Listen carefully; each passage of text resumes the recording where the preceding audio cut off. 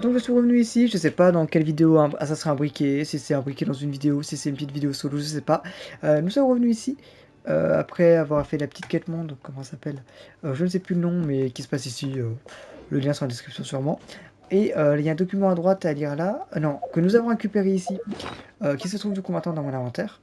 Et un document ici à lire, on va déjà lire le manuscrit incomplet, comme c'est plus long, ça sera plus chiant. Donc, excusez-moi si je dis pas très bien, car je lis pas si mal, je ferai, euh, je vais faire ce que je peux. Un euh, manuscrit incomplet. Il y a très longtemps, à une époque où les montagnes étaient remplies de précieux trésors, les étoiles s'étiraient comme de longs serpents et les rêves remplissaient les nuits de couleurs. Une petite ermite blanche, ou, ou était-ce une souris? Une lapine peut-être? Peu importe, cela pourrait être décidé plus tard, qui vivait dans une ville tranquille et prospère. Tous ses amis et voisins l'appelaient Flocon. Quel était son nom déjà au départ? Je devrais décider plus tard aussi. Flocon, avec un pelage blanc immaculé, aussi blanc que la neige ok, éternelle sur le pic d'une montagne, sans aucune trace apparente. Ses yeux étincelants comme la brillance silencieuse d'un ciel nocturne, sa voix était claire et limpide, comme si une paire de mains invisibles jouait d'un bel instrument ou si quelqu'un versait du vin d'un or pâle dans un verre. Tous les habitants souhaitaient le voir tous les jours, ne fût-ce que pour le saluer. Submergé, oui désolé, je fais, je aussi les, bruitages. Euh, par toute cette admiration et couverte de bijoux, scintillant, Flocon s'ébloua elle s'oublia elle-même jusqu'à abandonner son véritable nom. Ah Problème résolu. Où est mon cadeau? dit mademoiselle Flocon, trop paresseuse pour ouvrir complètement la porte et dont le seul bracelet couvert de rubis qu'elle portait à son fin poignet brillait à travers la fente. Euh, la personne à la porte afficha un air troublé. La petite porte se ferma, alors un brillant, alors un bruit, avec un bruit sourd. La pure, noble et vénérée mademoiselle Flocon retourna alors s'asseoir à sa coiffeuse pour attendre la venue de son prochain admirateur sincère.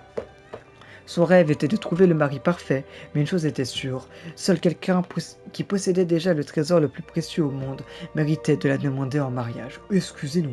Un jour, un certain monsieur Chat, qui vagabondait, vint visiter la petite ville. Il venait d'un royaume, longtemps longtemps au nord et arborait une fourrure épaisse et et bien entretenue, un peu trop peut-être. En effet, en se rapprochant de lui, il était même possible de se sentir de sentir ce qu'il avait mangé lors de son dernier repas. Mon chat est actuellement couché sur mes genoux en train de faire sa toilette. Ça sent le poisson. Il y avait tant de ces il y avait non, il y avait dans ses yeux verts émeraude, une sagesse qui dépassait tout ce que le commun des mortels pouvait espérer attendre. Les gentils habitants l'accueillirent chaleureusement.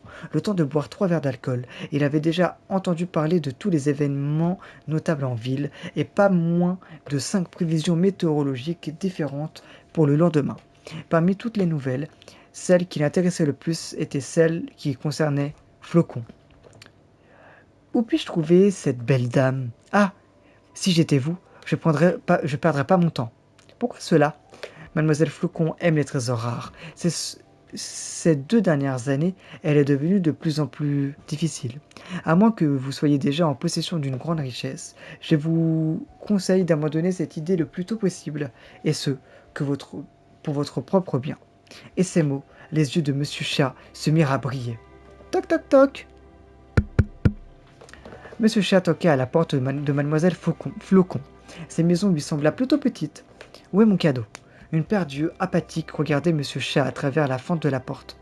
Bien entendu, j'ai préparé le plus beau des cadeaux pour vous, mademoiselle Flocon. Je suis sûr qu'il vous rendra encore plus belle que vous ne l'êtes déjà. Ce collier est incrusté d'agates du nord, de perles des mers du sud et de l'ambre de l'ouest.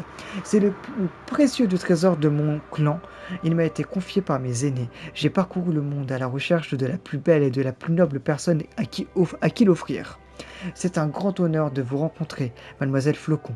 Vous devez être celle que je cherche. S'il vous plaît, acceptez mon cadeau.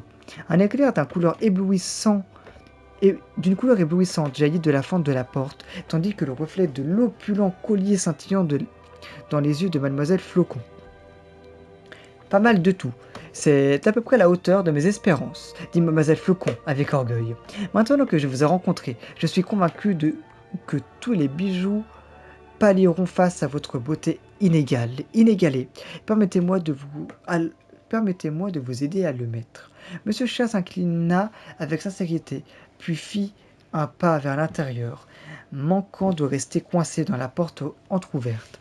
Je vais maintenant procéder à une cérémonie de, de bénédiction et de prière pour vous, afin que ce don que ce don puisse continuer à briller aussi fort que le clair de la lune, de lune, pardon, lorsqu'il serait parti.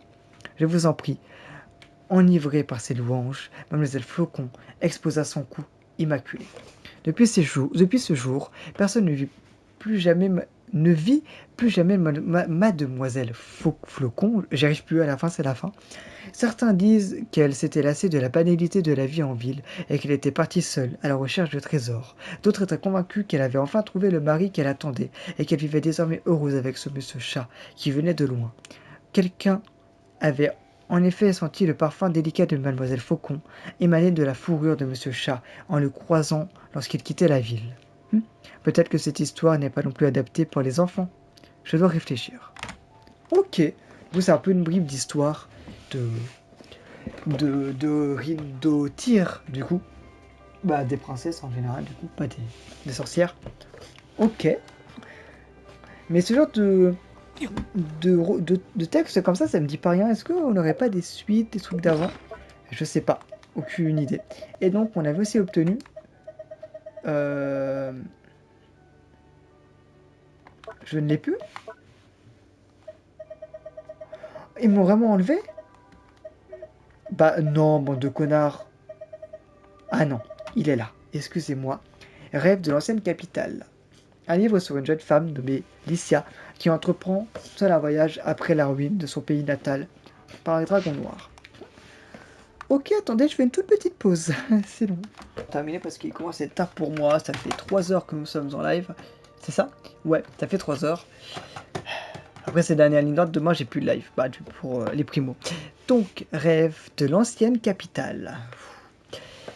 Excusez-moi encore une fois si des fois je lis mal, etc. Des fois je pourrais lire bien, des fois mal. Excusez-moi.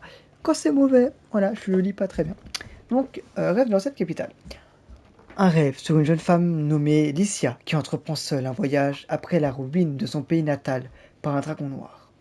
Au cours de son voyage, elle rencontra un ancien garde du royaume, désormais errant.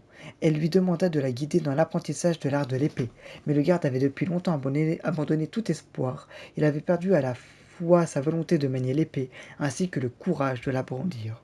Je ne peux pas remplir une bouteille avec de l'espoir pour vous la donner, lui dit Licia mais je me souviens d'une chanson de mon, de mon enfance. Elle racontait que le printemps est aussi éphémère qu'une étoile filante, et, qu'elle m'a, et elle m'a appris à chérir chaque fleur sur le point d'éclore à mes pieds. Vous n'avez pas besoin de maîtriser l'art de l'épée, lui répondit le garde.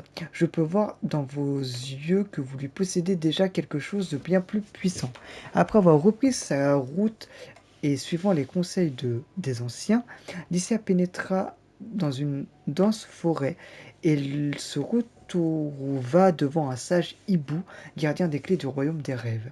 Le rire du hibou, qui se répandait comme, comme la brume, l'enveloppa de, de toutes parts.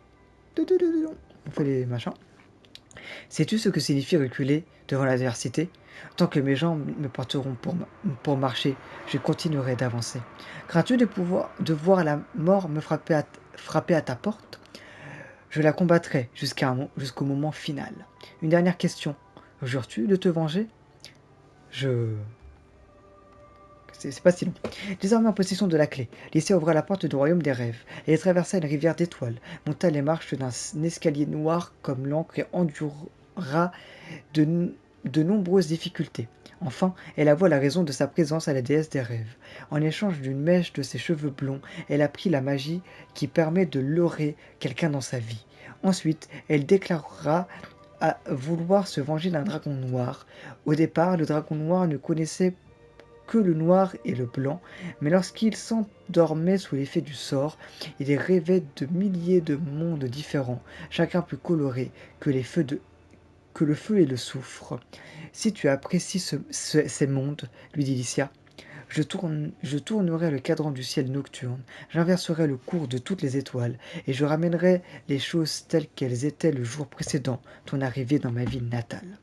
À la fin de l'histoire, Listia se réveilla du rêve de la nuit précédente et pouvait absorber les paysages familiers de son village natal à travers la fenêtre. Les oiseaux chantaient, les fleurs s'épanouissaient, et tout était en paix. Quelqu'un toquait, doucement à la porte de la cabane en bois. En ouvrant la porte, Lycée aperçut, un étranger aux cheveux noirs qui se tenait à l'extérieur. Je ne peux pas, pas voir la couleur de tes cheveux, dit l'homme, mais je suppose qu'ils sont dorés, comme la couleur des étoiles dans mon rêve. Note à l'arrière du livre, tu aimes vraiment écrire des histoires à propos de dragons, pas vrai? D'accord. Et voilà. Moi, ces histoires-là, je sais pas si j'aime bien parce que je sais pas si je comprends tout ce qu'ils disent et tout, mais euh, mais c'est joli, c'est joli, c'est joli. C'est joli, c'est joli, c'est joli. Et euh, sympatoche, voilà. Donc, euh, voilà YouTube, on pouvoir s'arrêter là pour euh, cette petite vidéo, cette petite lecture. Je sais pas où c'est dans la vidéo ou pas. Mais euh, voilà. Merci beaucoup de m'avoir suivi. Et je vous dis à la prochaine. Putain, incroyable de voir tout ça.